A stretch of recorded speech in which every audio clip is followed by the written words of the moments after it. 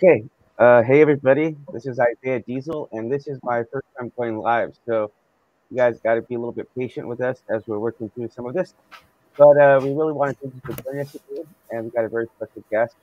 But first and foremost, Gray, evening now in the UK? Uh, evening. It is. It is.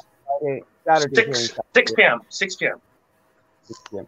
And we are joined by a very special guest, Mr. Jeremy Roberts. You want to introduce yourself? Yeah, my name is Jeremy Roberts. You got it right. and uh, man, you've been doing a lot of these lately, Jeremy. I've, I've been looking at your. Uh, a lot of people want to talk to you. It's, it's incredible to be so popular. That's great. Actually, I had a really good time uh, interviewing you the first time, so we look forward to a very spirited uh, conversation this time. But actually, I do want to hear one story before we get started, because you were on Xena. Is that correct? Xena, yeah, a couple times, yeah. A couple times. So I saw one where, was am I right about this? You went to work and you came back uh, looking like me with a shaved head. Is that right? What happened? You're right. It didn't. It, it didn't come in as a script. It didn't really say, "Oh, you're gonna have your head shaved." But uh, so when you get there and you're you're walking over to meet everybody, and you meet the wardrobe and have a seat, and they're putting a little thing around your neck, and what's up? Oh well, yeah. So sort of kind of got used to it now. But now it's now it's this way just because I'm losing it. So yeah. Well, welcome to the club. Welcome to the club. I didn't mind because you know, as you can see, I looked really good, and it's, it's yeah, got a good absolutely. shape like yours. You got a good head. Yeah, well, I, I think he had some makeup and stuff going on too, so that uh, that was very interesting. Actually, we are we are going to talk a little bit today about this about uh, character acting and things like that. But uh, before we get started, we always like to talk. We always like to make some small talk. So we're going to hit you with a friendly fire round. Uh, are you ready for this again? No way. Okay, let's go. All right. Favorite favorite WWF wrestler of all time? Oh God. Uh, well, my mom was huge. She just watched it oh, like it was it. religion. I believes it completely. Me too. Uh, hated it whenever I brought it up.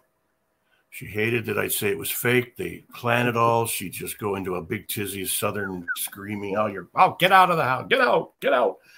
But then I I, I did a, a, marrying man, and I got to meet uh, Big John Studd. I mean, this is way back. Oh, okay. The guy's yeah. six eight, six nine, and so I'd say Big John Studd, but I don't think Big people John. know him now. He's passed away a while back. All right. Uh, I'm of the 70s and the 60s era wrestling. Great. Now I, I, don't watch it as much. I know, I know, I know. Great, Jeremy, good good to meet you, man. Good to meet you. Um, you too. You've got a you've got a choice of one song now, and this song um, it, it's going to play on a loop for the rest of your life. Okay, so it's got to be it's got to be really special. Um, what song is it going to be? Oh, um, I think it's uh, Nilsson Schmilsson. It's an album Nilsson, Harry Nilsson did. It's called I Can't Live, I think is the name of it. I can't live if living is without you. Oh, that's a good one. That's I can't live. Oh, I'm I've got a chill already. Great, great yeah, song. Right. I like that. That's a good one. All right, here we Maybe go. Maybe not my uh, rendition, uh, but since since Gray is from the UK, we're gonna stick with the UK one. But uh, who is your top three British bands of all time? Mine is Duran Duran because they're the oh, best. Uh, sorry. Uh, you know, I'm, I'm, you know, you're going to hate it. Beatles and Stones. I mean, first album I bought was uh, Got It Live If You Want It from the Stones and Stones and the Beatles. And I probably say Queen. Queen. There you go. I'm, yeah, so I'm old school. Yeah. Yeah. All right. Great. Great. Last, uh, last one. Uh, favorite favorite action movie. Ooh. Gosh. Terminator 2 right here. There's too many. I mean, I'm in Star Trek, so I'm going to say it. But is Star it Trek. is it an action? Yeah, it's action. Is it fantasy? Is it fantasy sci-fi? I, I, I, would suppose, but hey, that's there's plenty of action going on in there, so that's cool. Love Actually. So, just kidding. So, kidding. that's good. That's good. hey, that's so, a great film. Well, so it I is. All right. So getting and, I, and I'm huge English. I got uh, uh, Irish and English in me. I'm totally English. I thought I had Indian in me. My mother went through all this thing. She looked it up. She thought we had uh, a, a, a princess uh, uh, back in the 1800s was related to us. We had the ancestry happen. It turned out I've got really? none, no Indian. Oh wow! But I've got a ton of, of English. So I'm an Anglophile, uh, big time. Gray was actually just over in Scotland for a job, and uh, mm-hmm. that's actually a place I would love to see. But actually, yeah, we're going to start off here. Uh, we sent you the questions ahead of time, and I'm glad that uh, we got to talk about the hair thing because I, I do want to ask you about something, um, which is what do you think about method acting, and have you ever had to do it? And for the layperson, method acting is whenever you really get immersed into a role.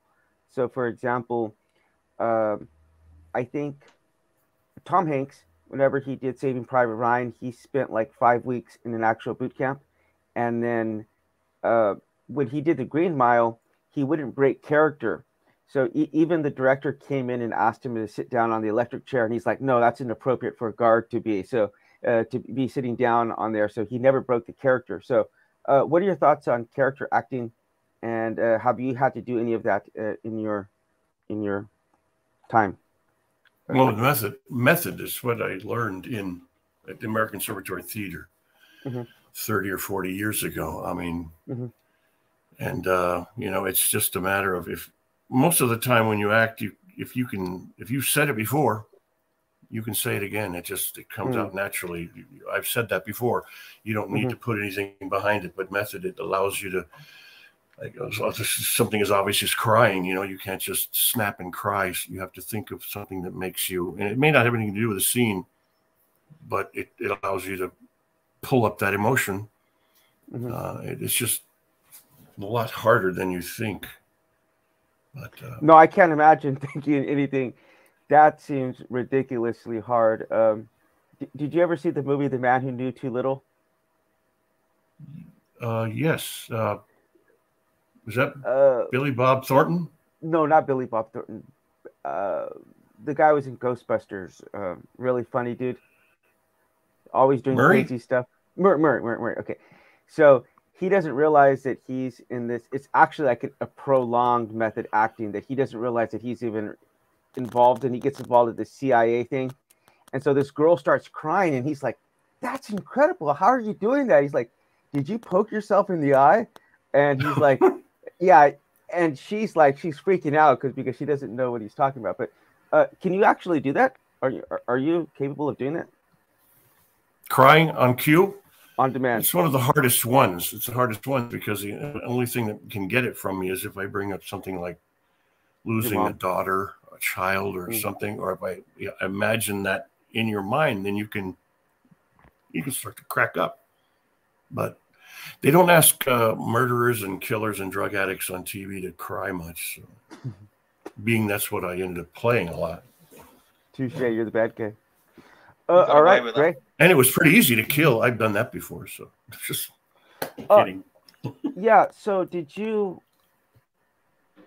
So okay. Oh, here's another side question with that too.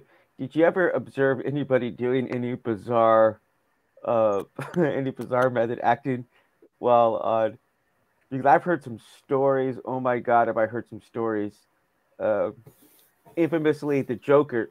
I know you're into Batman, but Joker in the last Suicide Squad, he was infamous because he was like he was doing stuff like throwing dead pigs in the casting room and stuff. I mean, he was just doing some really bizarre stuff. and obviously, the other Joker, which is Heath Ledger, he got a little bit carried away with the method acting. So uh, have you ever seen any, witnessed any of that yourself? Oddly, no. Uh, you know, uh, the whole thing of staying in character the whole time might work if you're on the set 24 hours. You're the lead Joker. I mean, he, mm-hmm. you, you kind of need to be you can't just stop and go into the trailer and start watching, you know, Wonder Years or whatever you're watching. But that's my thing. Is uh, it's usually a lot of TV. You're not running the whole film. You're you're in and you're out. You're you, so you've got to find something to do without completely going the other way. Oh, I'm Jeremy again. You, you know, but you you sit in your trailer, you read. You know, it's uh, try not to go nuts. But I couldn't be a serial serial killer all the time. I would just go right. I'd lose it. Well, don't get ahead of the gun on that and one. These people, okay. Is... Oh, good. I had a, like a, a, my a friends of mine that did a a, a Jodie Foster movie uh, where she it was actually true story. She was raped in a bar by men. Uh, it, sh- it shouldn't have happened, but they went through it. They ended up having to go through a lot of psychiatric mm. care afterward. Mm-hmm. She didn't. She it. was able to. this is not happening. So Jodie uh, Foster. I, it kind of freaked me out. Is yeah, I don't want to. I didn't want to have a possibility that I would be talking to a doctor about. I have this mm-hmm. in a movie. Uh, All right. On air, uh, I got, and I, I, I Jeremy, Jeremy. Do that. But. Great. So, Jeremy, can I just hit the reset button a minute? Obviously, you've you've um, you've done a podcast with us um, with, with uh, Diesel before. Um, just for the viewers that might not have seen that, could we just go over your um, how you got into acting, um, and also the second part of that question is, could you tell us wh- where you think your life would have went had you not taken that path? And what was the first part of the question? I Oh, sorry. How you got into acting in the first place? Um, obviously, some of the viewers may not have seen the other podcast, so you could just cover that. Oh, all right. Uh, okay, out of the Marine Corps, I didn't know what I was going to do, so I started working at a club called the uh, uh, uh, Lakeside Golf Club. It's down the block from Warner Brothers. My dad was working there as a cook, he got me on as a lifeguard. I started a lifeguard, and of course, everybody's passing here and there. And you know, I, I worked out on the ninth hole at a golf course uh, at the bar. So this is before I even thought of acting. I mean, there's John Wayne, there's Bob Hope, Bing Crosby, there's every star ever walking through there ordering wow. drinks, and I'm like, I'm like, oh my god, there's there's John Wayne, there's oh, talking John to the Wayne. Duke and I grew up with these people anyway. So I, I, yeah. I, I, still didn't know what to do. A friend asked me, "Look, I, I, a guy in this play we're doing. It's called Laugh-In. Used to be a TV show called Laugh-In. Zany things going on all the time, and uh, he broke his leg, and I need you to play an Indian store owner. And I, you know, I, I watched Frank Gorshin a lot. He did impressions, and in my country, you know, I, I had to play Indian. Shouldn't have been me, but I got up there and it was like I was saw God and accepted wow. him into my life. Whoa! I knew this is what I was going to do. I got up there, I said the first line, they laughed, and I went, oh. And being very shy, it was amazing that I got on stage, but it helped me become get out of that shyness. So I went to Valley College in LA. I started taking acting classes, and my teacher there at the time told me, uh, you need to go to a conservatory because they teach you from nine in the morning till nine at night dance, wow. theater, speech, so everything. You don't do anything but acting. And wow. So I said, I want to go. Which one? He said, Well, you got to apply to a lot of them. It's like acting. You don't get your first job. You dumb. I, no, no, I want to go to the best. So, so arrogant. What an idiot. He said the American Conservatory Theater. So I signed up. He saw doom all over this because you know he said, No, you're going to apply for the Harvard School of this and da, da, da, Pasadena School. I went, this is the one you said to go to. So I I signed up. They gave me an audition date, and it was uh, St. Patrick's Day, which I thought was oh good, lucky here, a little Irish in me. And hmm. so I went there, and I turned out to be the. Uh, I walked up to the guy signing us in, and he he said, "Oh well, they're going to remember you." And I said, "Why?" Well, you're the last one in L.A. before they go off to Boston or and audition other people. I think they audition a couple thousand every year. Wow. And I said, oh, great. I feel very good now. I'm, I'm not nervous. They're going to remember me. So I went in, I did it. And two weeks later, I get a letter from them, assuming it's uh, turned me down because it was on April Fool's Day that I got it. Wow. It's not, this is not a funny joke, but opened it up, got in. I could not believe it. I got into the best school, and uh, neither did the teacher. he said, "You have the ability. I just didn't think you would get it right away." And it's that's just not good the way it's been ever since. I mean, I didn't want to go sending 300 uh, pictures and resumes because, you know, uh, so I did a, a, a, after the school, I did Shakespeare and things all over the country, and then I went to LA and sent didn't want to send 300 resumes, and I knew the odds of you getting into business were really bad against me, but so I did a showcase. An agent saw me, brought me into their agent. I did that same scene for the rest of the agents the next day. He said, Fine, you're in. A week later, I did my first audition. I think it was Hooperman, John Ritter. Love that guy. John Ritter. Got it. And it's just, it's all I wanted to be as a guest star, a co star, a, character actor. I didn't, I really didn't want to run the yeah. show because you're blamed if it stinks. you're blamed. That so the, the, other part of that question was uh, if you if you weren't if you wouldn't have done acting, what would have been the other thing that you would have done in your life? What would have been your fallback plan? Well, it was going to be uh, architect because I uh, or artist. I uh, had the ability to draw you as you're sitting there.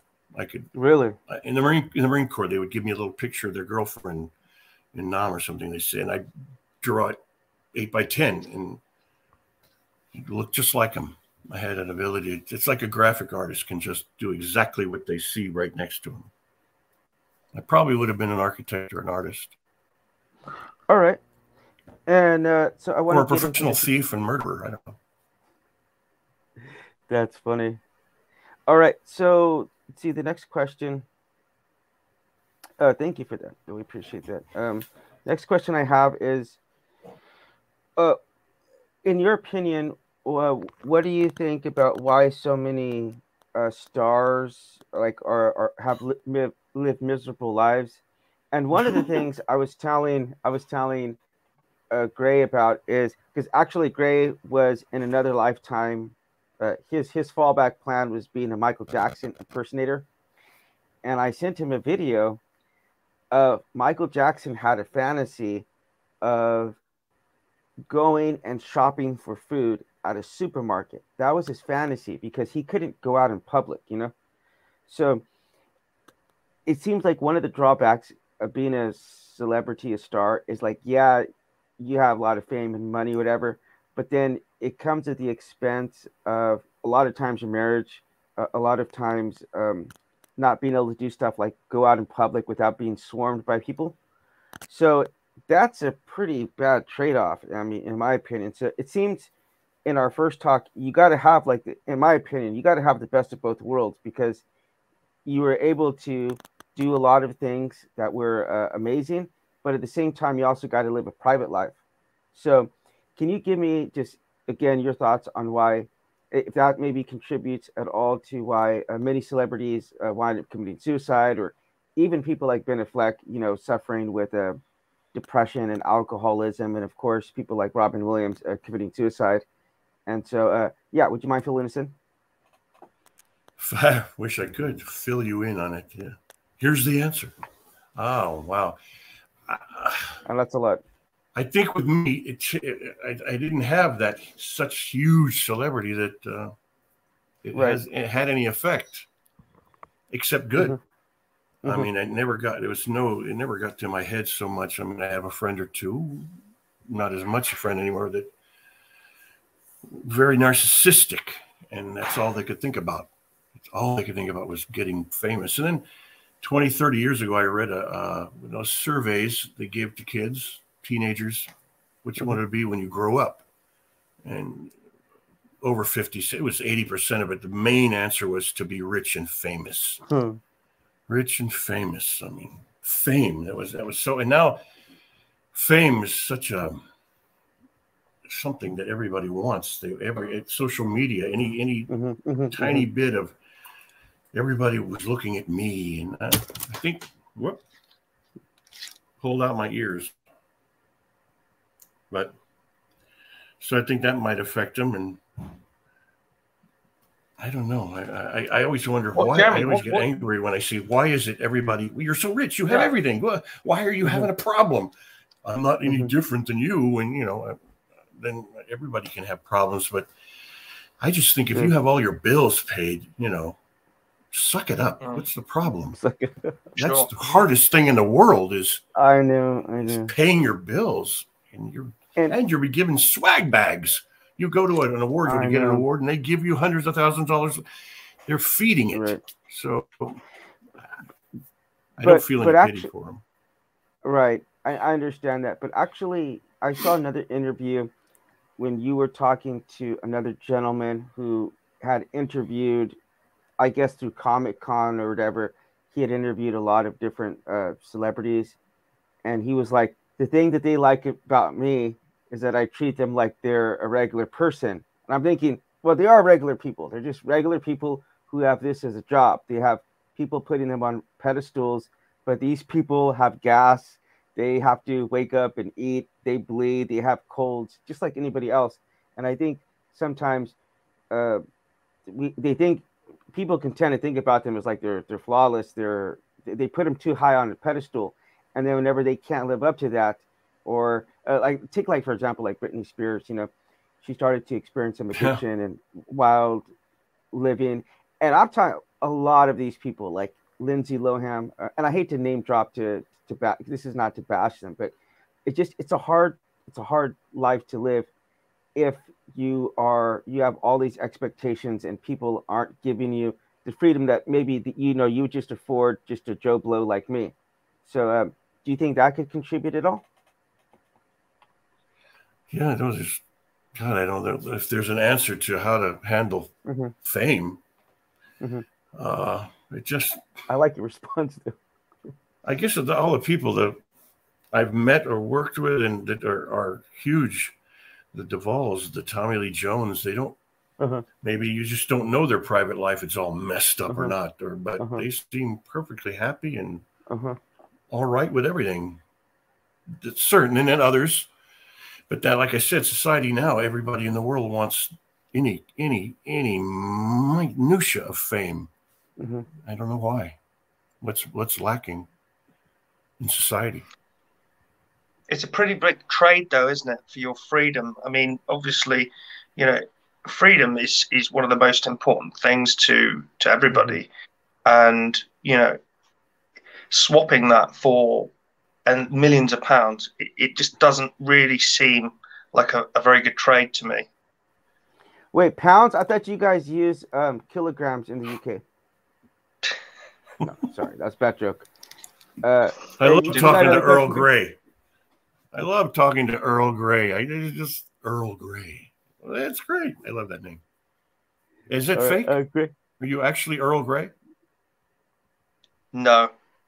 He's British, oh, so he okay. likes to drink the tea. Yeah, I mean, he's a he's a tea fan. All about All the right, tea, great. mate. All about the tea. Great. So for the viewers, uh, tea does his not. His real name is Tiffany. In the UK, tea means a meal. It means like dinner. So that's they got things backwards in fact, when they flush the toilet, it goes the wrong way. So I think they were here first, though. I don't. All right, great. well, we talk. We t- you, you, said about Tommy Lee Jones, and obviously worked with um, people like Jim Carrey, um, Whoopi Goldberg. Um, you starred on Star Trek as well. Um, have you been to any big parties with these guys? Any wrap parties, and have you have any stories that stand out?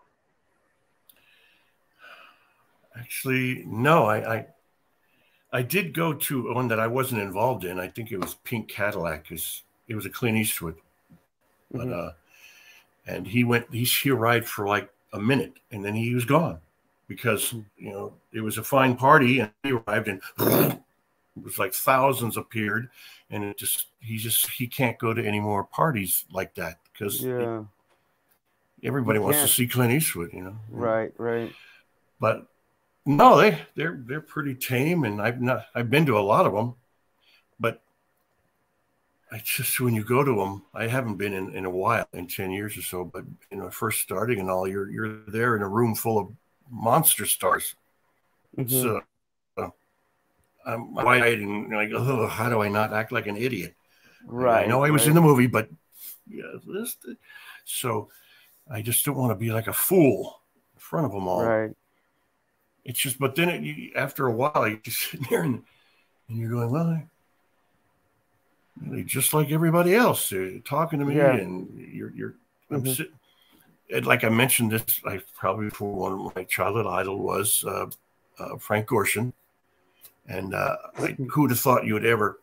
I did it recently. Okay, I recently did another one, uh, one of these podcasts where Nicholas Meyer, the director of Star Trek Six, was there, and I was trying, right, I, I was explaining that. something on the Zoom. Well, right, and as that I was able to sit there in my backyard, having met Frank Gorshin after 40, 50 years. Here's my childhood idol is dating my mother-in-law, and he's sitting on the phone talking. I'm dropping names. It's just because it was so mind blowing to me. I'm having a drink, urban opposite this chain smoking idol of mine talking to Tony Bennett about his wedding That's coming up crazy. to my mother in law, and he's going to be my father in law.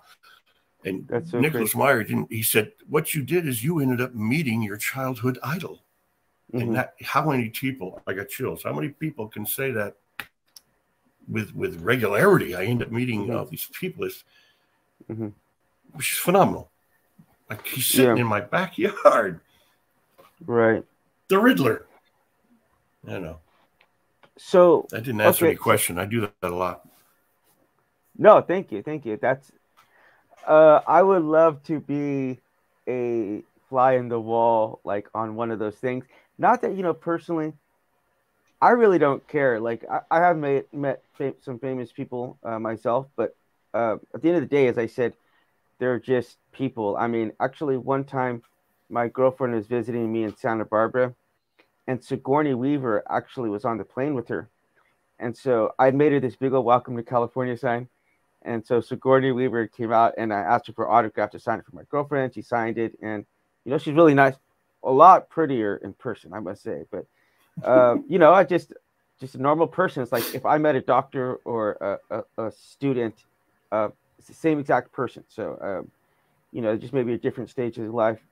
So, uh, but I, it would just be interesting to see the interactions, kind of like uh, what's going on, uh, where there's deals they're talking about, whatever. That would just be fascinating. But uh, so I do well, have hearing, hearing stars talk about stuff. Sorry, hmm, hearing right. stars, just you're you're like, oh, wow, they're talking about shopping.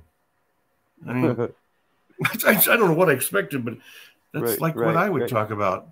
And then you exactly, get over it exactly. and you realize, hey, they're normal unless yeah, they're exactly. a little.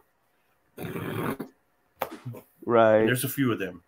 We've recently have come across one of those through this channel. Actually, I think I told you about the Squid Game. Yeah, exactly. Just okay, but here we go. Next question.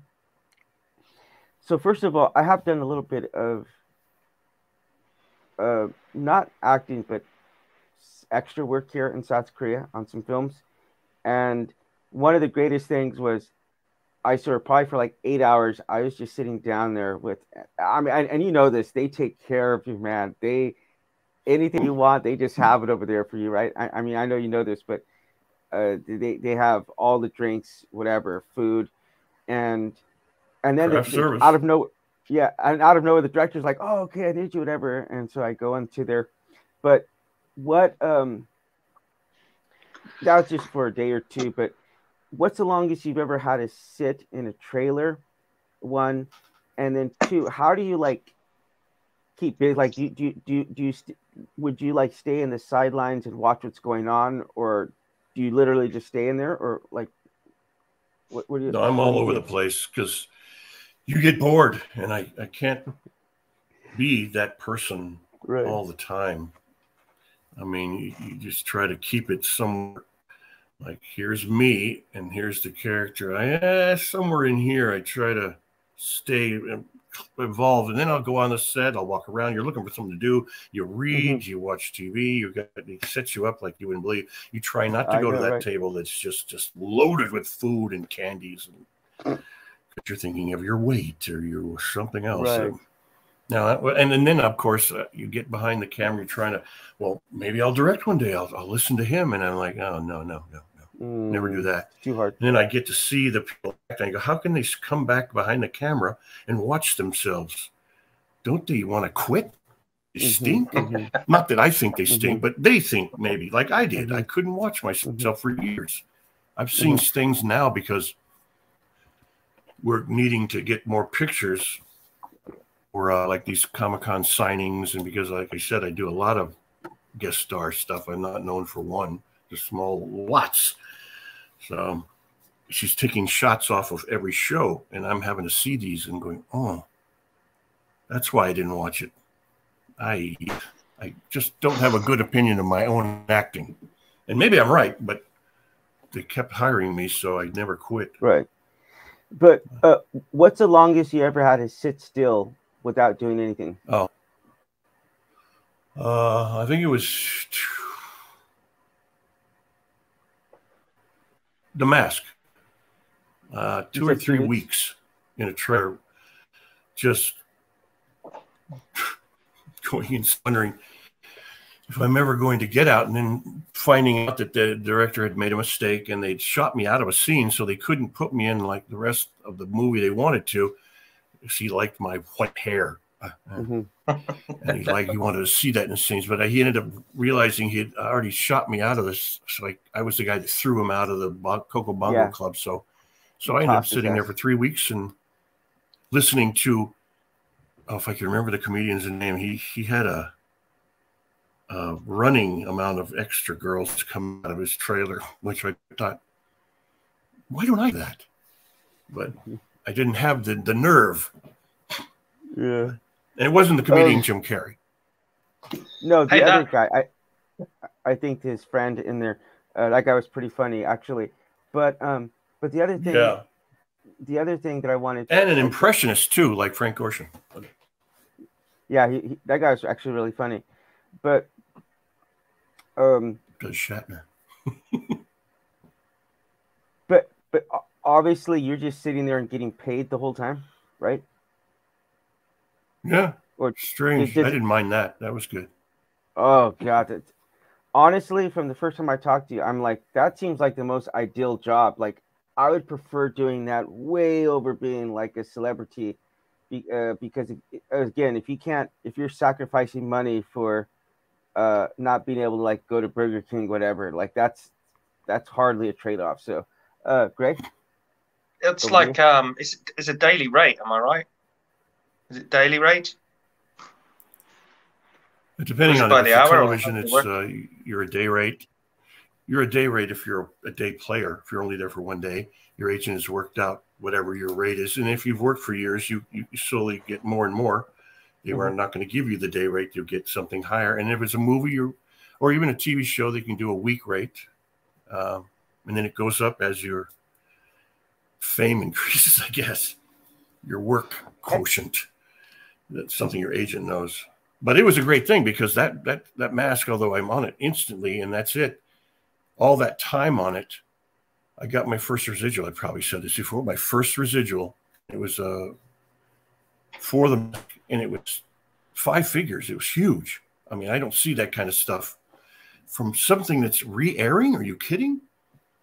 And but then I, I looked at the after they took out 40 or 50 percent the government and I I, like I told the story, I ended up writing Clinton at the time and complaining that I don't remember seeing him in the movie at all. well, why am I giving it all to you? But that took me off. Uh, I had a top secret list I was on for the Marine Corps, and they took me off that right around then. I don't know if that's why. Wow, but that that's a funny that's a funny story. I thought but, it was funny. I was riding the president. I'm that's that's pissed hilarious. off about my taxes. That's hilarious. So actually, two things. One, what was the residual for? And two, what was the longest you ever spent on a set? Oh, it was the mask. That's that's what that residual was for. It was my first big one. They give you like Others a lump. from t- wow. Well, it, it keeps coming. It's like these the best shows. If you're in uh, popular shows, TV and film, then uh, I'm I have residuals now from something I did 30 years ago. That's still coming in. wow. in. It's a it's wow. it's nice. I'm assuming um, that you kind of sorry, Jeremy. I'm assuming you kind of knew pretty quickly after um, finding out that you were working with Jim Carrey that that was going to be a big payday, right? I didn't know. I actually didn't think about that.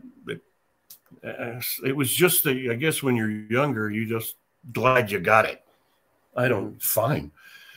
If I'm a day or a minute, but I mean, after he talks to you once and laughing your head off, I go, hey, you don't have to pay me. I was, I wow. went on the set every day hoping I could see him and hoping wow. he would be as usual. Did you spend much time with him? Was. I, tr- you, you, I want to say I tried.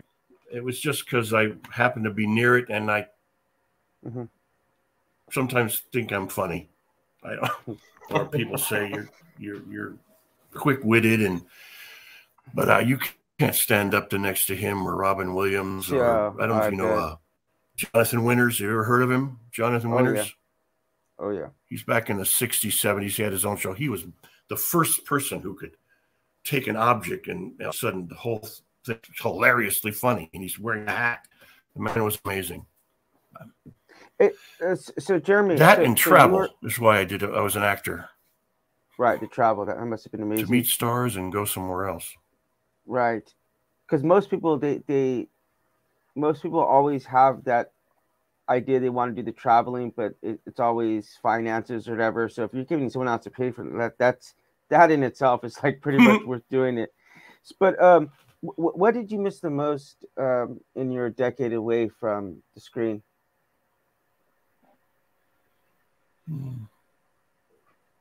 Wow, here's one I, thing. Nothing. I, I, I was I, I, it's a bummer to say, but I mean, I was always nervous. It always made me nervous. I always got you know when it was stage, you you go and and before just to get the nerves gone. And once you hit the stage, it's gone for two and a half hours. You're, and that's okay. I don't mind being the lead then. I don't see why it was okay and easy in my mind. Mm-hmm. But TV mm-hmm. and film, it was a stomach, nerves, and because uh, I didn't think I was very good at it when mm-hmm. I saw myself. Right. So I, I lost my train of thought a friend of mine, this is off subject, a friend of mine is uh, unfortunately was diagnosed with uh, Alzheimer's recently, and we didn't know. And now we're trying to deal with how to how do we handle that and how do we talk to her and mm-hmm. We don't know what to do. So you know, mm-hmm. you immediately walk into a room now, and I, I'm like, why why am I here? And I forgot, and I go, oh no, mm-hmm. you know, am I am I starting signs of losing your memory, old age. Mm-hmm. But well, see, I was going somewhere with that, and I and now I'm gone. Speak of the devil. Speak of the devil, he appears. All right, uh, so we want to switch this up for a quick minute, and we'll get back to acting. But um, we want to. Oh, sorry, that was a missing it. I didn't miss anything about it. I'm sorry because the really? stomach was gone. Uh, in, in the first six, seven years, I went back to Alabama and took care of my mother and my father. They were ailing, and my mom was saying things like, I think it's time to go. And I'm like, Go where? What are you talking about? You know, go. I'm like, No. She was ready to go, and she she did go. Mm-hmm. But it was a great, great six years at home. I mean, I got to spend more time with my mom and dad than I I did when I was a child. Every day, wow. it was beautiful, beautiful. I I I miss them both. Yeah, you you are very fortunate. But um, so yeah, we talked about tra- that. Yeah, we did, we did. Um, I, actually, I'll just tell you real quick what happened here because they have public bathhouses here in South Korea. So I went to this public. I had this routine like every Thursday. I'd go out for this certain soup, Baskin Robbins, and I'd go to this uh, public bathhouse. So I got off work, went to the public bathhouse. I ate the food, went to the public bathhouse, logged on to Facebook. Actually, it was MySpace at the time. Got 50 messages. You got to call home.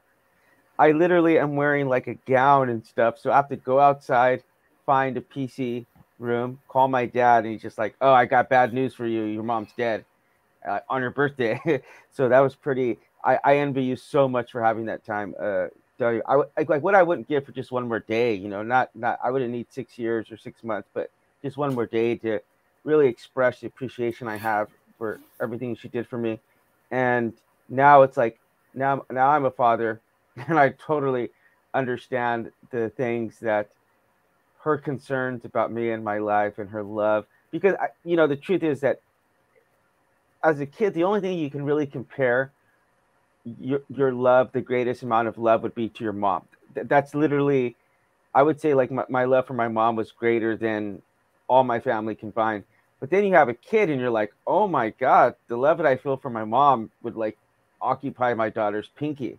You mm-hmm. know so it just and it's just, it's the ironic thing because I want my daughter to know. I'm I tell her I love her every day so many times, just dozens of times, and the, just the sad thing is that I know she is never going to understand that until another maybe 40 or 50 years later when she's a mom herself, and then she'll understand uh, my love for her. You know, but you know, transitioning is something I, I do want to ask you because I did see you lighting a menorah and right. I was wondering if you could talk a little bit about your your wife's roots. And uh, I, I actually got to go into to to Jerusalem and practice oh. Shabbat and um, and Hanukkah uh, with the Jews there. It's an amazing experience. But uh, yeah, can you can you fill us in? Well, uh, she was told by her mother all her life that she's uh, a portion. She's got a father that was Jewish. Never met him. Never wow. met her father. So she knew there was that part, but then she thought the other half or whatever was uh, Filipino her whole life. Because her mother, Haji, kind of has a, an, an, exotic look that she possibly could. Turned out ancestry again killed it all. Uh, they, she found out that she's uh, not Filipino at all. She's even more Jewish. And we both were of the mind that uh, we don't know we're either mm-hmm. agnostic. We, I believe there is a God. I just, I kind of want to believe it's, it's the same one that everyone worships. They just think it's theirs only. Mm-hmm, so, mm-hmm. but I can't I, figure out anything else. So, mm-hmm. uh, we've been looking into it, and I actually was. I guess it was because, uh, well, wow, I don't have Indian in me. I'm just a, just a, just English. Darned. I mean, I, I, I love England because I read it all my life. I was Shakespeare. I could memorize. I memorized almost. I almost did every one of the Shakespeares. I mean, I so loved it and the history and kings. And I'm not interested in king and queens now because of because of this fame thing and Meghan Markle. She's she's spewed it. She horrible, uh, horrible, horrible. She just ruined the whole kingdom. I do want to interject on one thing Meghan Markle was it. Meghan Markle was the best thing to come out of the UK since the Rolling Stones. So that's all what? I want to say. But continue. what? Sorry, I'm taking it. I'm taking a dig at this guy. Ooh, it's an inside mm. joke. It's an inside, I'm, I'm, don't worry, Jeremy. I'm used to it, mate. Don't worry. no, I, I, don't. I don't care for her because you're destroying thousands of years. I don't want to be any. I don't want to be princess. Ugh, yeah, but you want to use it to be fame. She just mm-hmm. wants to be famous. Anyway, I don't offer. Anyway, back to good things. Right. But anyway, what were we talking about? Yeah, that that was that that was a quite a big thing, as you can imagine over here. Um, mm-hmm. You know, this whole celebrity. I think um, she said in one of her interviews that she assumed that being part of the royal family was like being in a part of um, Hollywood, and she expected that kind of sort of uh, lifestyle when she, when she came over. Um, and obviously, it was nothing like that. It was very sheltered. Um, there was a lot of security. Um, and again, freedom. She didn't have the freedoms that she had back at home. So, right. You know, there's a lot of uh, there's a lot of mixed opinions here about her, but I can kind of see whether you like her or dislike her. You can kind of see um, the kind of situation she was in in terms of um, you know losing some of her freedoms and, and, and, and how unprepared she was for that. Um, but yeah, I mean, you know, it's it's hard to say. It's hard to know really what what went on. Um, hey, good luck to them. They're happy now. Whatever yeah. they're doing, cool. I guess it's just that they're, they're, not. You ruined him. I think I don't know them, so mm. and they're only an hour from us, and I know where they live, so I can just I'll go visit. Go say um, hi. I'll say hi to me. Yeah. Well. Yeah. Uh, it's this whole thing. I, am so sad that people want to be famous. It, it, all values in life are gone. Just right. make me famous. I want especially reality TV, right? Oh, yeah. oh, oh, reality TV. Yeah. How many years ago? Thirty. It started and destroyed right society. I agree. We definitely agree there. uh, the inside joke there was when I told uh, Gray that he's like, she's not even from the UK, and I'm like, that's the point. So okay. Anyway, moving right along. How dare you throw away a duchy and then use it when you need to? I mean, there's responsibilities come. You had to know that you're marrying a king, maybe. Right. right. Or you're yeah. have to do some things exactly. you don't like. exactly right. Yeah. Sorry. So yeah. So has your so so now we're in, we're embracing the whole Judaist, the whole uh, uh, mm-hmm. we're learning about the traditions and mm-hmm. And soon uh, she'll possibly join a, a, church. Well, not a church, a synagogue, synagogue, synagogue, and maybe. Um, uh, did I show you my Star David tattoo? Yes. Uh, my mom and I we got them on our on our on our, over our hearts, and she actually was buried like with a, a Jewish flag, and it's on her tombstone, which is like amazing. So she was like really big supporter and lover of, of Israel. So uh, okay, well, getting back to this acting, we have a few more questions uh, to ask you here. And uh, by the way, just a random thing, you got any plans for the weekend? No. No. Okay. And that's a good thing. That's good. Maybe get to the Squid Game. That'd be great. Yeah, right. she keeps telling me, and how come you're not in it? I mean, you're doing stuff right. to try to get in that. Right, I'm working on it. But okay, here we go. This was um yeah, so what do you think um what do you think makes a great actor? And and and I think oh. I, I think I think what you said was, was interesting whenever you said if you've said it before. Um I will tell you this in in college, uh, I was taking this counseling class, and the teacher gave me, or she gave a couple of students an option uh, to be the person who's getting role played. Uh, not that kind of role play, but you get role played and you get an automatic A. Okay, that was part of the assignment. You get an automatic A. And so, so you know, you get like this little dossier of the person, and this person I was doing had like a really hot temper, but he seemed to think everybody else's was like the problem except him. So he, he was prone to have like these outbursts of anger. And so that was like my character to a T. So as I was getting interviewed, I would occasionally blow up on some of these on some of these students. And and I had just a completely straight face, and I would actually catch them off guard sometimes. And but the thing is, the people were amazed that I was able to play that character so well because it actually was me. So, you know, there's a difference between like a a, a, a character actor, which I believe which you would fall under, but then there's also people who just, as they say, they just play themselves. You know, uh, like a Brad Pitt or uh, you know, will just just play himself. Jennifer Aniston, Jennifer Lopez. The reason why they, they are able they, they they don't have a lot of range because they're playing a character which is really similar to their own. So, uh, what are your thoughts on that as far as um, character acting, uh, being like a typecast? You, you know, they, they call it a typecast, and and how do how do people really just play the best roles that they can? What are your thoughts on that? Uh, I don't know. Character. I, I guess I always looked at a character actor as just not that he's putting on some magnificent character more than anybody else. He's just mm-hmm. he's not the star. He comes in and he's part of the movie, part of the TV show. He, mm-hmm. but uh, but acting, it always seems like the person that has more of their own self in it is usually the better actor. You know, they've. Mm-hmm said it before. They've done this before. They and the way I'm talking now, I mean, I just write it down and say it. I've said these things before, so I should be able to make this conversation, right. even right. though I've memorized the lines. It should come mm-hmm. out just as easily. And some people, I think I do it a lot, are technical actors, and I, I, am ashamed of it. You you do it, but it's not. You, you, don't know what's wrong. It's perfectly good. You'll watch it, and you, you, you something about it is is off and I think it's the mm-hmm. technical part. They're doing it exactly as they think it should be done, and it's not naturally coming out of them.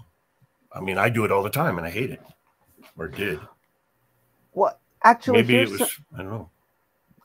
Here's a question I, I got for you, because I know when actors they're trying to decide whether or not they're going to do a role, they read it first, right? They'll just take the script and read through it, but it doesn't really seem like possible that someone could memorize all those lines.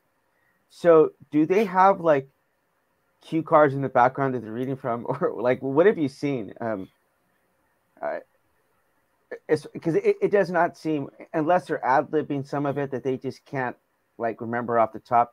Uh, have you did, did you ever see like ad libbing or things like that um, on set or? Well, Jim, or Jim always, memorize it. Jim Carrey always ad libbed. I mean, it was you. Uh-huh. If you'd read the script, then you'd know. But uh, yeah, he's always doing it. And but um, what was it? What, let's go back. Um, I've lost the, the train of thought. Well, uh, do do they? Oh, okay, I got it. It, it doesn't seem possible. See, it's all it took for you to go. It doesn't seem possible. It doesn't seem possible that you can memorize all your parts in that, unless you're just like studying it all day or whatever. Well, they didn't have a problem with the Shakespeare. I mean, it, I scared out of my mind that I wouldn't be able to remember it. But uh, all of a sudden, uh, it, one day, clicks and oh, it's in.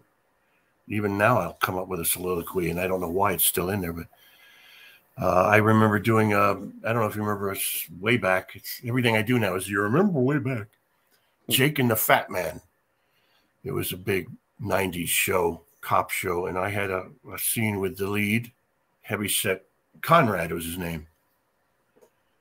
And he kept like looking over to the off my left shoulder. And I was like asking someone, he didn't want to say anything to him because he's a star why is he looking? He's not looking at me. I, am having a hard time connecting.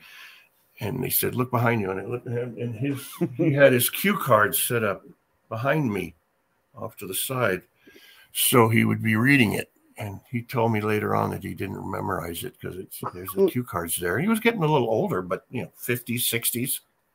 It's not that old. That's great. I said, okay. And there's that kind of thing can happen, but but that was really the only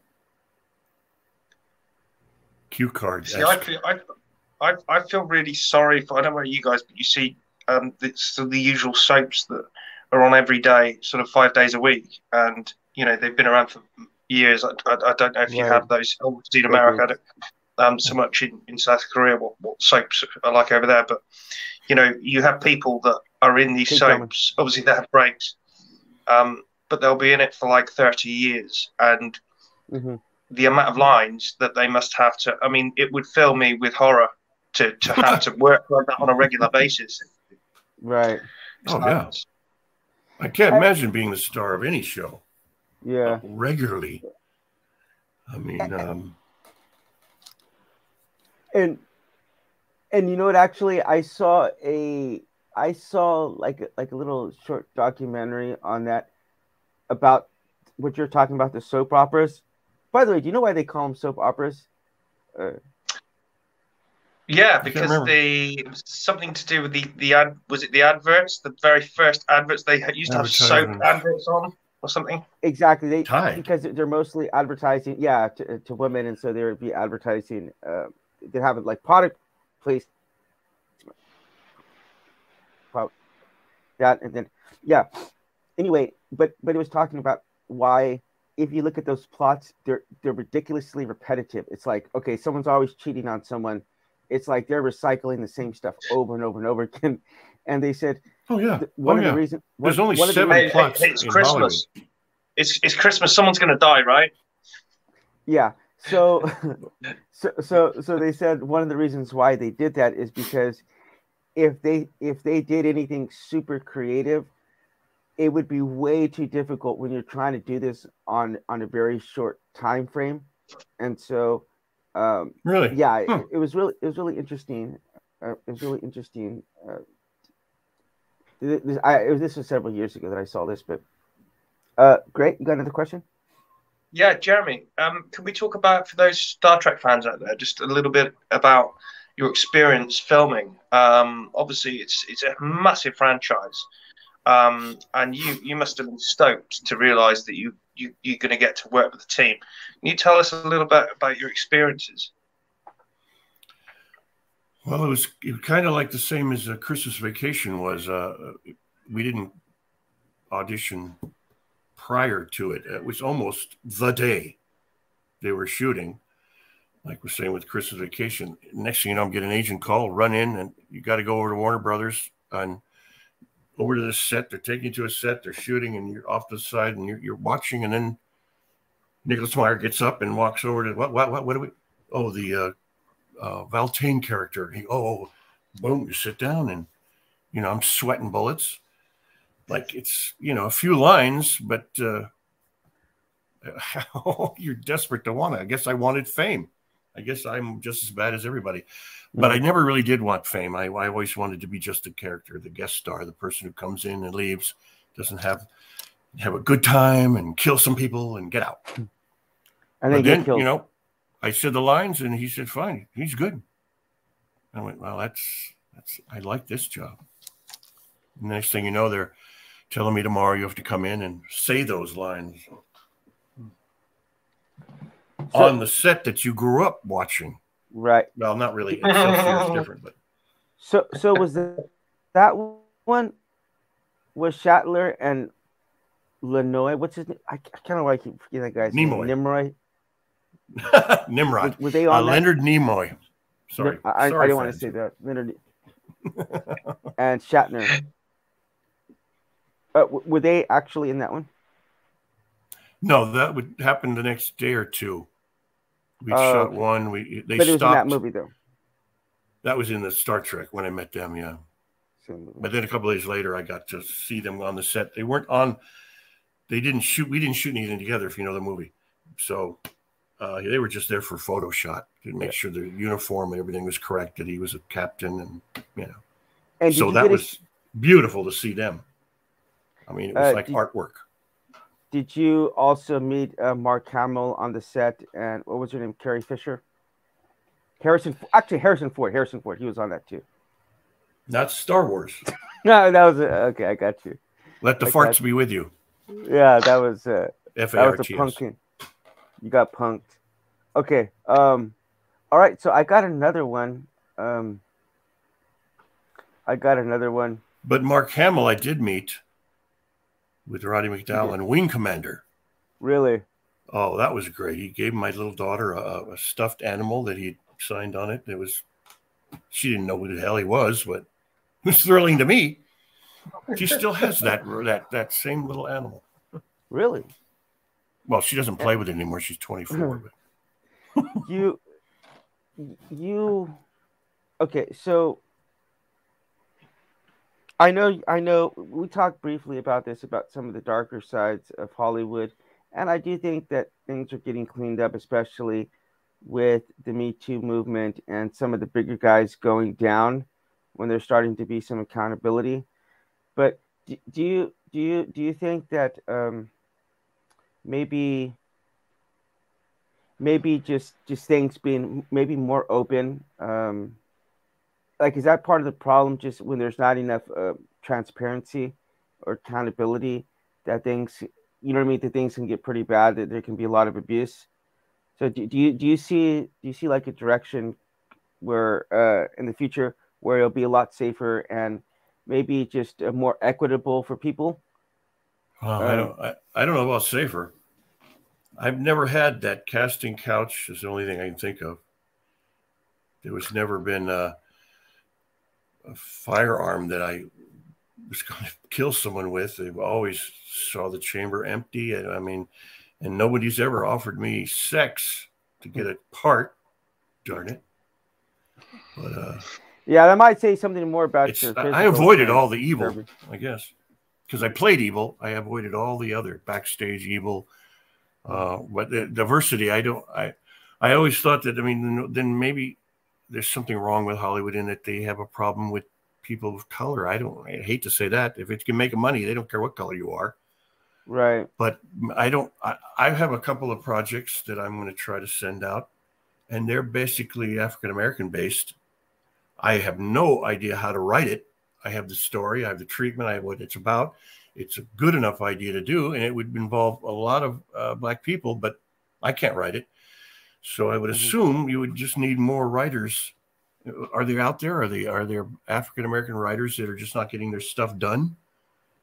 Or is it is it uh, racist or the Hollywood doesn't want to make a film about it? I don't know. I, it won't make money, you know, because money is the root of all.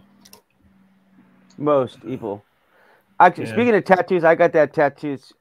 Timothy six eight. I got that tattooed on my arm here, but oh, okay. So, so, so here's here's something that's interesting to maybe ask you because it seems like your average Joe Blow, like your key grips or your your your you know your people. Okay, they, they they're they're making a living, but if you they weren't paying these stars like recently I, maybe it was Jennifer Lawrence. I don't want to misquote this, but she, she she had like a like a fifty million dollar deal, and then she like sued the studio because she was like, "Well, if you guys wouldn't have released this movie actually out into the public, or if you wouldn't have released it on a streaming service because of COVID." And no, it's not Jennifer Scarlett Johansson. Scarlett Johansson. So she actually sued them and she won against them for having to make like maybe like 10 or 20 million dollars more because that was a valid I, I don't know part of you know so it, it seems like some of these people are making ridiculous amounts of money. Like I, okay i understand you know you're worth what you're able to pull in but some of these are just insane. You know what i mean? Like absolutely insanity. And so it seems like if they weren't paying these people on the top so much. The the people, um, the average Joe blows, and I know you know these guys who just what's what's the word for the lighting system that they use? Uh, I just uh, key grips, uh... key grips, and the sound. Um, because what, what what are the guys from uh, Squid Games that we're interviewing that was doing that? Boom mic. There's yeah, there's just technical mm. term for it. But uh, do you have any thoughts on that? Like about maybe celebrities being overpaid? Um, or I never like, had a problem with that because capitalism? I mean, didn't they just didn't they just give a some sporting guy who bounces a ball thirty five million dollars? I mean, I, I yeah, I don't yeah. think that. I mean, yes, it's a talent, mm-hmm. but you're really just throwing a ball in a hole. Yeah, or you're throwing a, a, a sphere, another size ball to another guy. It's it's not worthy of that money money unless they know they can make that money from people coming in to buy that football show or that basketball show or whatever. And every mm-hmm. Terminator should get that kind of money if they're going to make 300 billion when they sell it to people in the theaters. Mm-hmm. I, I, don't have a problem with that. But it, it's like you're, you're, pushing a socialistic society, then maybe we should mm-hmm. all get fair pay, fair wages. And that's not the way America works. America's all right. Land of the dream, you know, to screw anybody you can to get it to the top. I hate that thought, but people I'm not mm-hmm. having a great opinion of people right now.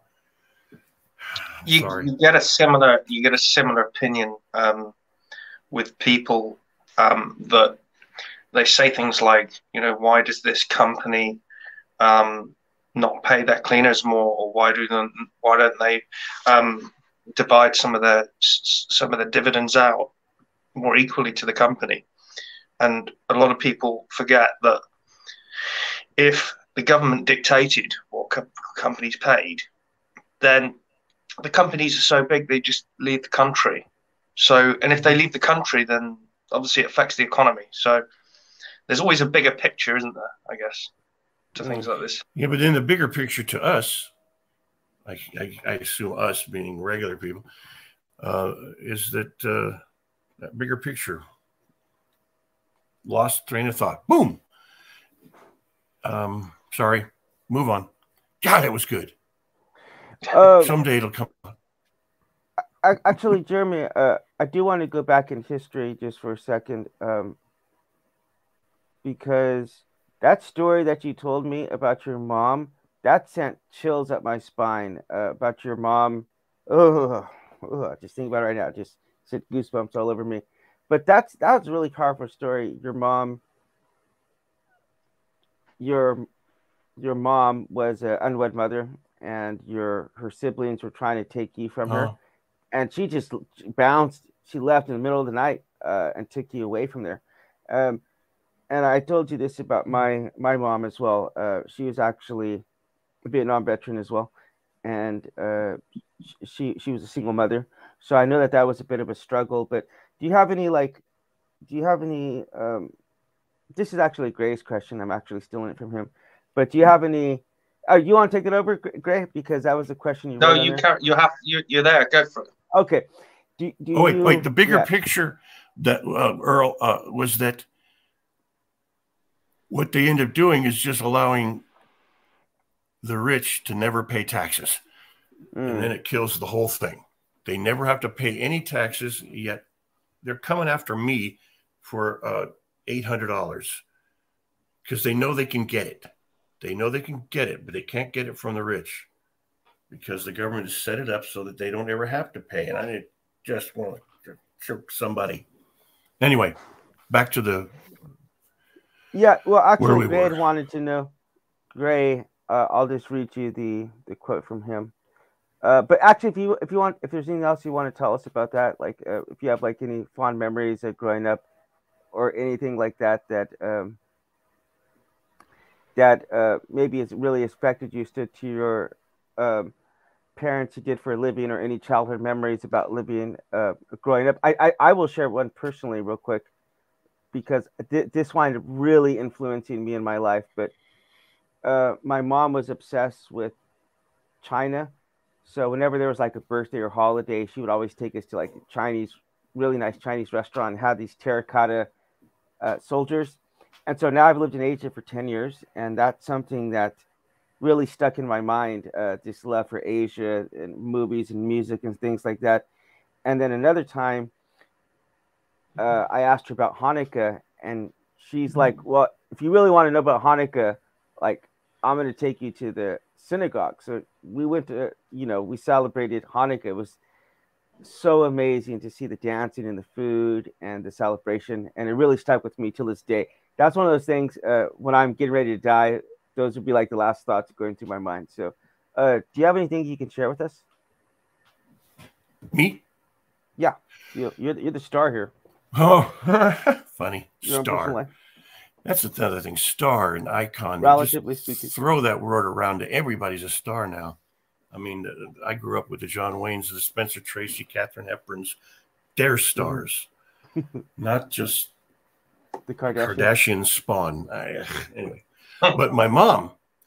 Now I'll always remember that she she would wake me up even at midnight I might have been six, five in there, eight years old. Every every uh, Saturday night, I think it was the midnight movie, a mil- million dollar movie, and she'd wake me up to have a company with because she hadn't wasn't married to my dad, my stepdad yet, and it would be some famous old movie with the, with the big stars in it. I, I that's what indoctrinated me into it, and I didn't know I would be one of them. Didn't even think of being one of them. Mm. It was mm. just it was the best time I got to get up and watch this movie that had these Ooh. stars, icons in it, and it uh, chills. And then and uh, it stayed with me, stayed with me till I was meeting them at that golf club, uh, and it was just I was lucky to get this. The next thing you know, boom, I'm I'm in it, and I'm getting to talk to him. and it was a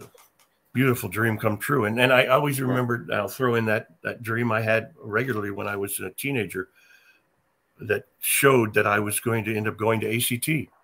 It was a duplicate. Mm. Like they filmed me going up the stairs into that room in San Francisco where I got the first apartment there before I started. And I put my bags down. I told the story many times because I don't know what it is. How was I how would I know that I was going to be sitting in there, you know, 30 years earlier on a dreams that just wow. keep coming up.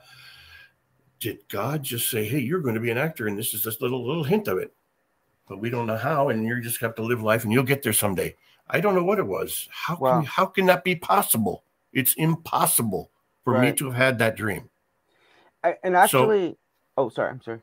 So it's does that mean there's a God, or, or are we yeah. just on a loop on life? It just goes over and over, and you're just repeating it.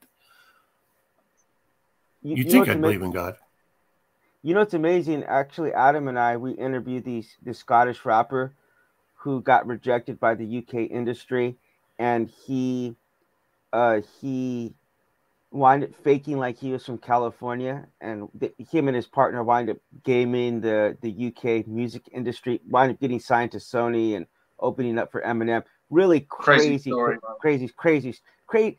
It is literally the craziest story I have ever heard in my life. But he told us that he actually had a dream about meeting his partner and about their first show. And and he told him later on, like, dude, I saw this exact show in a dream. So that is that is freaking crazy. And I, I think that is such a beautiful story of sharing about your mother. I really want to thank you for that. So uh, I was a little bit iffy about stealing Adam's question, uh, Gray's question here, but uh, yeah, thank you for that, uh, Gray. I think I got time for like one or one or two. Hey, that, that leads that leads us really nicely onto, um, you know, a little bit about Christmas, Jeremy. What your plans over Christmas, and you know, do you go as far as having a five-year plan? What what's in the pipeline for you? Well, Christmas this year is, is huh, I don't want to be a bummer. It's just we spent four years watching CNN and MSNBC mm-hmm. and, and, wanting to move to New Zealand every day. Mm-hmm. I'm still thinking of that. If, if, it goes like I hope it doesn't, but uh, um, Christmas, I'm trying to find the spirit because you know you, all your life you do Christmas because of you're forced to go to church, and that's what it's about. But, uh, but it was about toys, and we we we did Christmases out the wazoo every year, just piles of stuff, and, and made the whole house a, a light show. It was it's beautiful. And this year, I'm not feeling it, mm. so I'm starting to put up. I'll put a bulb on something, or I'll hang it. I'm trying to. I'll watch a Christmas Vacation or something. Uh, Bishop's Wife. Give me a Christmas movie. Love Actually. I hate to say that because people hate that movie. I don't know why. Notebook. I love that movie. Watch, but watch anyway. Notebook. That's a fantastic movie. It's incredible. I, I mean, I've seen it a hundred times, and you can see it and cry and laugh at the same place. And Bill Nighy is, is genius. Every year, guaranteed. Every year, yeah. guaranteed. Yeah. Uh, Jeremy, this is a this is kind of a random question here, but if Gray was going to get compared to any celebrity, alive or dead, um, who would you compare him to? Look at the face. Let's see if you can see it. Usually, I'm really good at this. And that's what my wife hates. Just shut up. Just watch the movie. oh God, I know there's somebody. I just don't know if I can get his name. He's got a little John Goodman getting thinner. He's uh, he's doing a. I know there's a yeah. Guy. Oh, who do you think? Who are you looking? Oh, I want to see if you can get it, man. You're, you're, you're the you're the guy. You may, maybe you've met him. I should be able to uh, cast okay, him. Here we go. Um, let's say he froze to death in an ocean once. No. Uh, okay. Froze? Um, he froze to death in Is that ocean. DiCaprio? DiCaprio. There we go. Oh, I see. I see it in the uh, not the beard, but there he is. Yeah, there, yeah. There you go. I'm putting a hand right. over your face so I can, you know, so you can see where I right. do this so I can see who you are. It's hard so, to figure uh, out yeah. these cameras. I never understood that in when I'm shooting. I'm in the movie. I'm in the movie business. So I, I, don't understand how you shoot left and then you're right. he's laying right. down. How do you gotta you gotta turn the camera? I, I must say that's that's the nicest that's the nicest way that um, Diesel has ever um, had that conversation. Usually, yeah. it's um, if if if a celebrity was dragged down a back alley and yeah, beat up, battered, set on and, fire, and, and, and yeah, set on fire and murdered um, and left about fifty thousand McDonald's burgers. Um, who would who would Earl Grey be? I saw him recently. He's doing a movie at uh, something at the end of the world is called DiCaprio, and he's gained weight. So I think that's what threw me because I see him uh, now as a as a fat. He, had, he he really got heavy. That's another thing I couldn't do he, he's getting ready to play um, Jim Jones actually, uh, which should be really interesting. Jim wow. Jones, the yeah, the, the, cult leader. Um, uh, they should just so, get Trump to play him. so, um, so I hope you don't mind. Um, I hope you don't mind doing a little name drop, but who's someone you could call up tomorrow and just say, "Let's go out for a beer," uh, that we might know. Oh, I don't know. Oh, oh, I guess. What's his name? No, I'm just kidding. yeah, I don't call him much. No, I, I don't really know anyone that I would do that to. But I've All had right. that opportunity my whole life, and my wife has said, "Why aren't you that kind of guy?" I can't do it. I mean, I did 21 Jump Street, and it, we played pool after after shooting all the time, and and it became like With he was he wanted to be a good friend, you know. With Depp, You're talking about? Yeah, Depp? and wow. he was Johnny giving Depp. me phone number. He said, "Call me. We get together in L.A." And I was just too shy. I just oh can't oh do God. that. I'm not that kind of person, so I never did. And then, of course, I'm going, man, I would have been in every one of those pirate movies. What an idiot! I still didn't call him. I don't. I, I just can't do that. Uh, I'm not going to call him. Uh, do you guys ever see Bosch? You ever hear of it? It's a TV show, Bosch. Well, then uh, I'd call him, but you don't know him. uh, Robert Englund. Oh, I could call Robert Englund, and we could go out. That's right. You're kidding? Wait, wait. Freddy Krueger. Freddy, Freddy Krueger. Freddy Krueger. Okay. Also, Ray Wise. I forgot Ray Wise. He played. Uh, he was in the first Swamp Thing. He was okay. in Reaper. He's been in every. He's you know his face. All right. But yeah. Thank you very much. Uh, hi, Randolph. All right, great. You got a last question, and we're gonna. Well, we we didn't quite cover um, Jeremy's. Uh, what's in the pipeline? What what's happening? Oh. Well, I, I decided to go back I mean, fishing and sitting on the rocking chair just. I've seen enough TV, and maybe it's that year or two, uh, you know, in in inside. Mm-hmm. But I decided to go back, deal with the nerves, see if there's any interest in you know this at 67, and um, maybe this time I'll I'll try to be a star. You know, I, I, I did. I wanted to be a guest star before, and I got it, just a character actor. Now Let's see if I can uh, be huge. Hey, it happened I, to Geoffrey Giuliano on Squid Game. I mean, he's about your age, and he's he's been happy with his lot. Um, and obviously, Squid Game has just completely blown his career out of the water. So, right. Now, see, yeah. I don't remember. Any, I don't. I haven't seen it, but is there an old person in that? They all look. Yeah. Thirties. Yeah. 40s. Yeah. So, so, so we actually interviewed four of these guys, the the VIPs, and, and Gray's exactly right. The guy's actually 68 years old, and he's been like a character actor. Actually, just like you. If you look at his website, he has all these different characters that he's done. Some What's his name? Some of it, Geoffrey Giuliano. He's actually written like something like 30 books. He's actually written like 20 books on the Beatles, man. It's really, wow. really. He's written the most books in the history about the Beatles. So it, it's insane how many books he's written on them.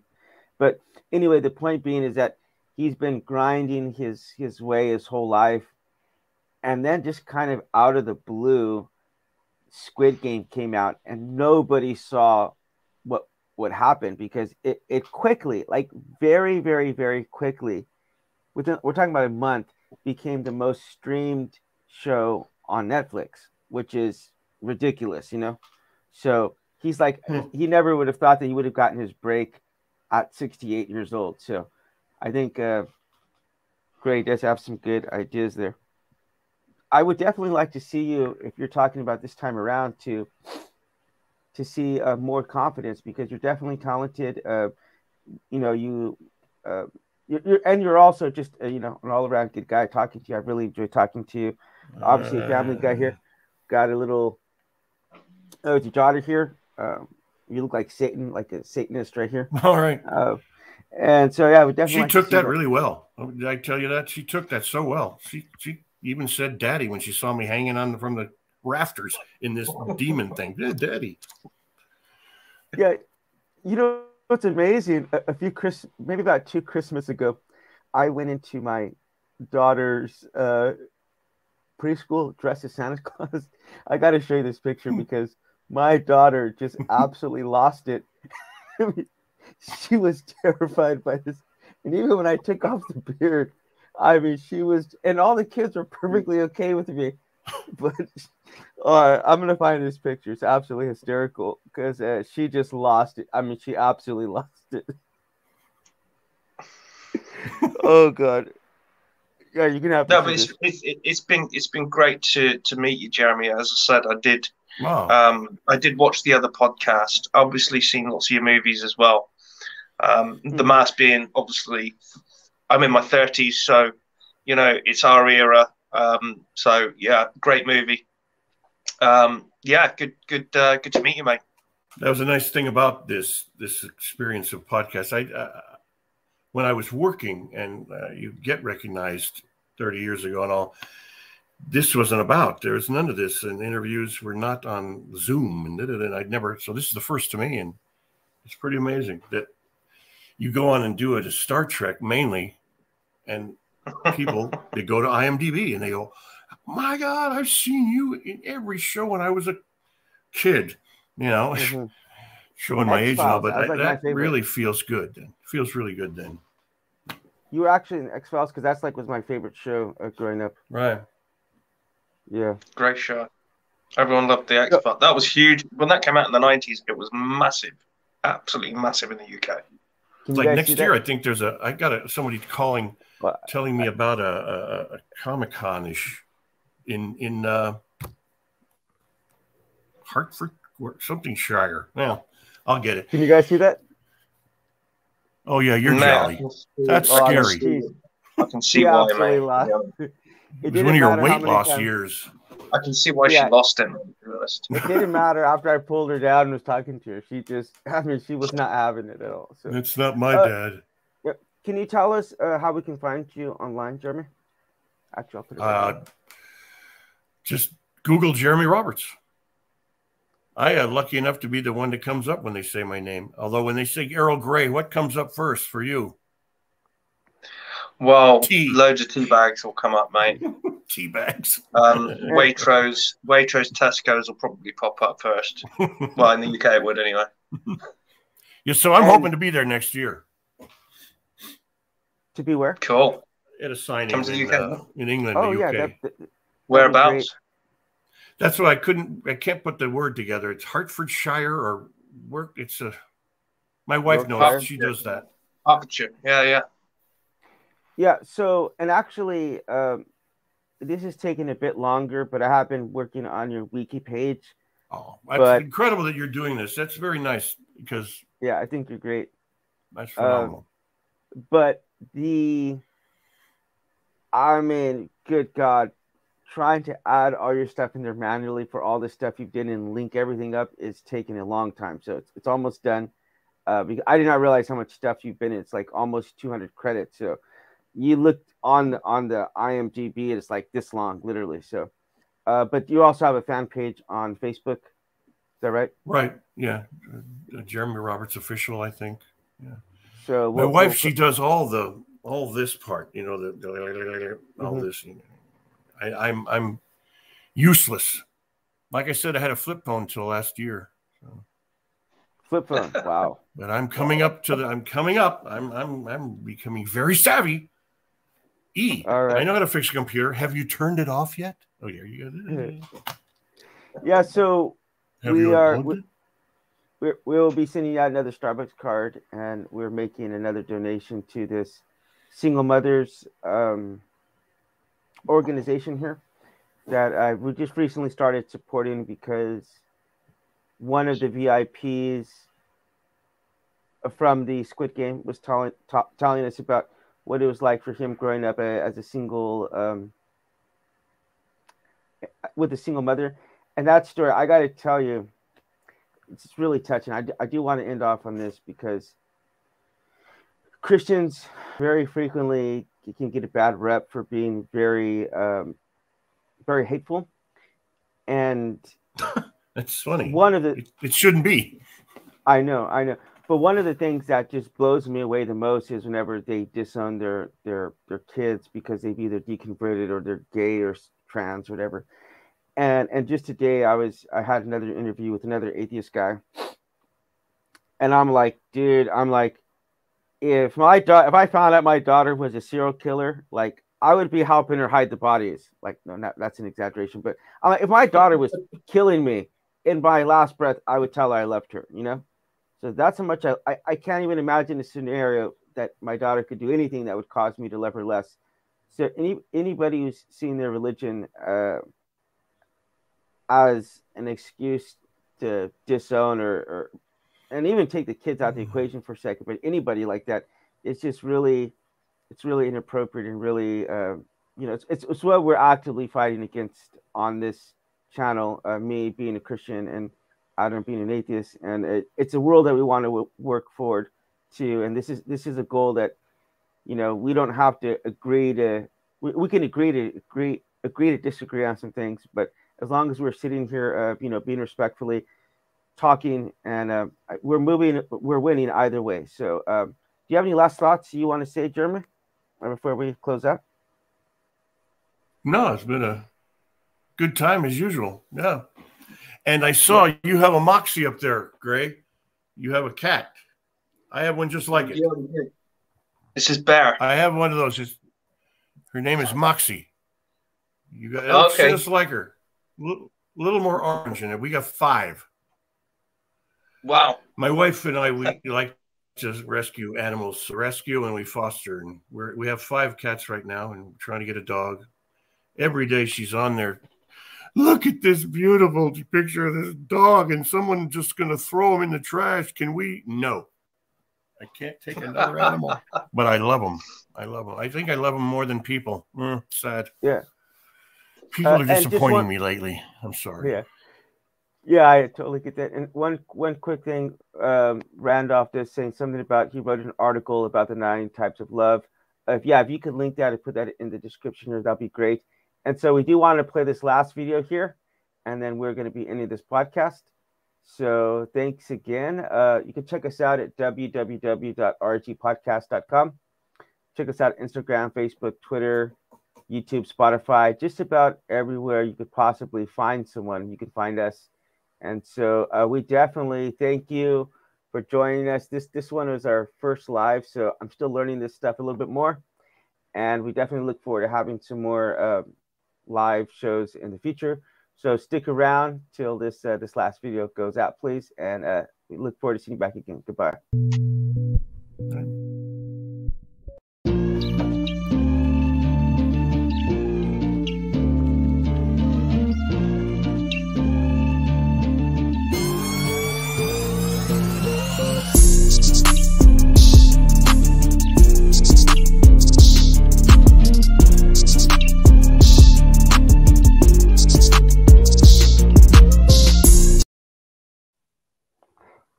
Okay